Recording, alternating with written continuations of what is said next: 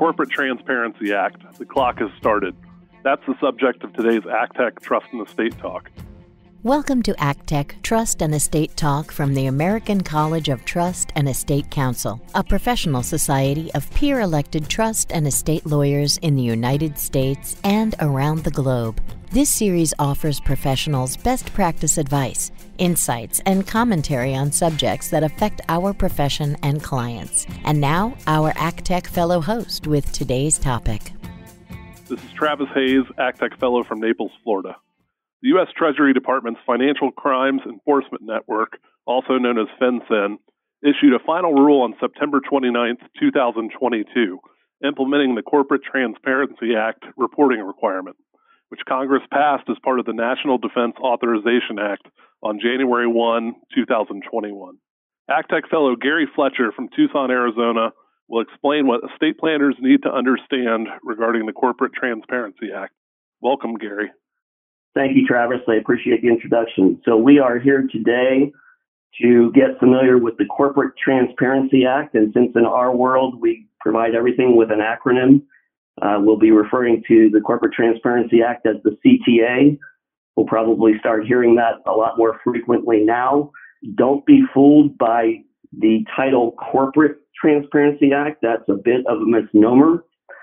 Uh, as I'll discuss, this act affects anyone with an entity, uh, any planner who has clients with an entity, and any planner who is using entities within their estate plan. The Corporate Transparency Act has actually been around for 21 months now. It was passed in January 1 of 2021. Many don't know about it, and part of the reason for that is that it was enacted under the National Defense Authorization Act of 2021, so it was kind of buried within a, a defense provision. The reason for that is that the target of this act is money laundering and funding of terrorism. So because it was presented in that manner, many of us planners are not necessarily familiar with it as it's not, at least up until now, coming across the radar on our updates. The Corporate Transparency Act basically is a new reporting requirement that is going to impact roughly 26 million existing entities formed from basically the beginning of your practice to date.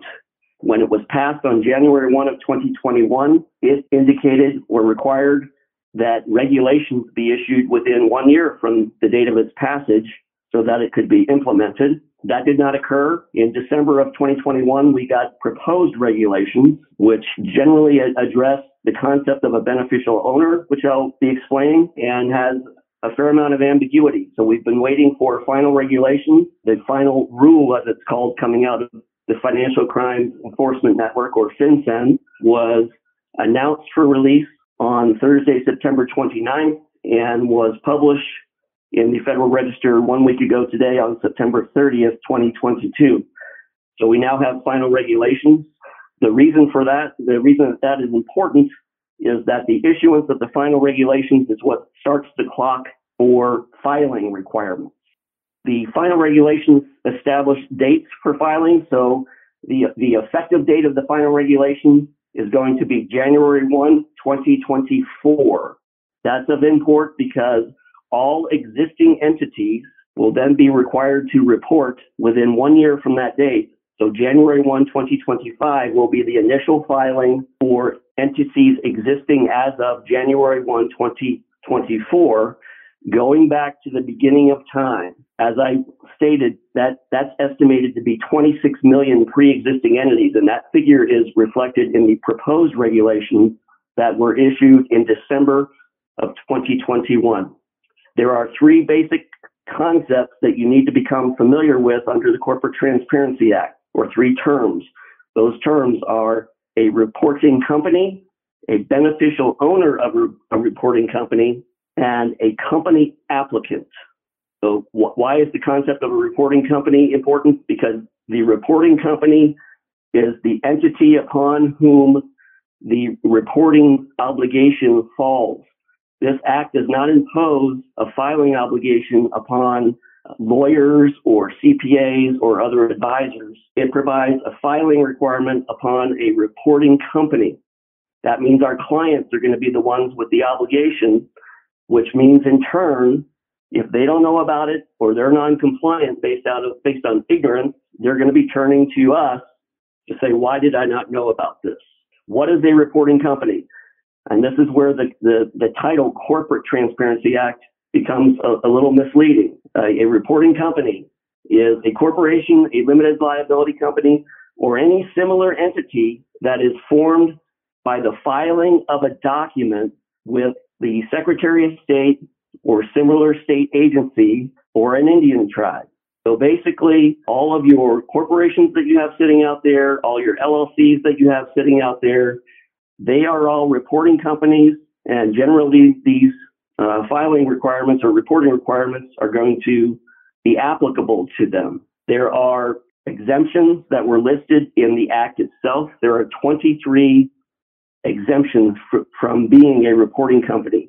Most of them deal with large operating companies that are already the subject of other regulation. So, example, large publicly traded accounting companies are exempt, basically because they're already reporting under Sarbanes Oxley. Uh, large operating companies with at least 20 employees and uh, revenues for the preceding year of $5 million are exempt. So large operating companies, many of whom are already regulated and reporting elsewhere, are exempted from this. Notably, family offices that we may be dealing with often have revenues uh, in excess of that amount, but quite often do not have 20 employees. So they, don't, they are not an exemption from a reporting company. Once you have a reporting company, what is required to be reported? There's basic information required to be reported about the entity itself. Uh, so basically its name, its identifying number, its address, etc. But then more importantly, it's required to report information on its beneficial owners. That's where the meat of this issue lies. What is a beneficial owner? Basically, that that is one of a couple of things. If if you own at least 25% of the reporting company, and there are underlying issues with regard to ownership that we have to dive into uh, when we when we get into the weeds on this. But if you basically if you own 25% or more, you're a beneficial owner. But that's not the end of the test. Even if you don't own 25% or more, if you can exercise substantial control, whether direct or indirect, over the company or key decisions of the company or selection of offers of the company, you too may be a beneficial owner. This is where this crawls into our planning world greatly. So a trust on its face is not a reporting company because in, in, at least in almost all cases, to form a trust, you are not filing a document with the Secretary of State or a similar state agency. So a trust is not a reporting company. A trust, however, in many cases is going to be deemed a beneficial owner because as we know, uh, many of these entity interests in our plans are held by trusts, which then gets down into a sub issue of okay, once I have a trust, a beneficial owner, what information am I required to report? So in almost all cases, that's going to be information with regard to the trustee. And then in more limited circumstances, it's even going to be information with regard to uh, beneficial owners or, or rather beneficiaries of the trust. Side note, this does not only apply to domestic companies, it also reply, applies to foreign companies who have registered to do business in the U.S. And those of you with cross-border clients, they may be deemed beneficial owners for whom information is going to need to be disclosed. That information includes their name, their residential address, information from an identifying document. So a driver's license or a specified uh, identifying number that you apply for from FinCEN. So those folks who are out there thinking that they have privacy within their plans, including entities that you formed in states that provide for silence with regard to beneficial ownership. Suddenly we're going to be reporting information on those beneficial owners. That information is going to be reported to FinCEN, the same agency that we've been providing information to for foreign bank accounts with the FBAR filing. The third category is a company applicant, which basically means that the individual who was involved or responsible for the filing of the document that formed the reporting company entity. This is one area that we got a little bit of relief under the final regulations compared to what the proposed regulations said. Under the proposed regulations, we were going to have to report on company applicants for all pre-existing entities. So all of those 26 million pre-existing entities, we were going to have to report that information. Under the final regulations, they've given us relief in that regard. So the reporting with regard to a company applicant will only be applicable for entities formed after January 1 of 2024. What are the deadlines for filing?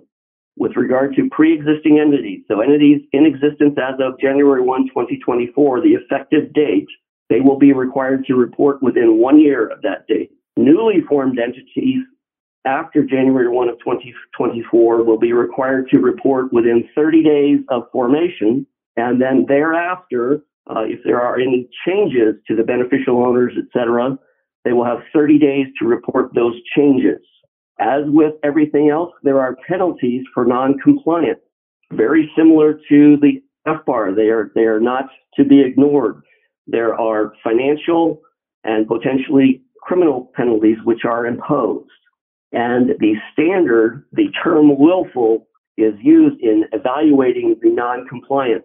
So there's going to be a willful evaluation that on its face looks like it's going to be very similar to the analysis that's been going on under FBAR filings as to whether the noncompliance was willful.